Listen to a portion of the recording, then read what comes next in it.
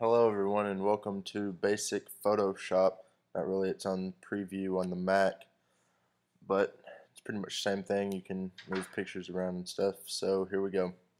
Okay, so you're going to want to open up your first picture, or one of your pictures, and then you can go ahead and open up your second one. So then what you're want to do is go to the part on there that says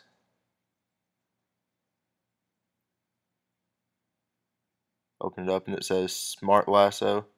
So you go right there and then you can just pretty much trace all the way around. Um, this is really hard to do with just the finger pad on the Mac so if you have a mouse it would be really a lot easier.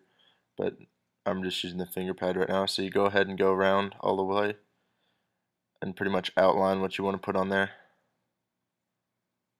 So once you finish that you can go ahead and go control C which is copy and then click on the picture that you want to put it on and control V and then it'll show up on there.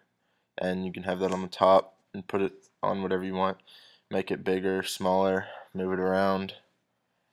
Um, so yeah that's pretty much it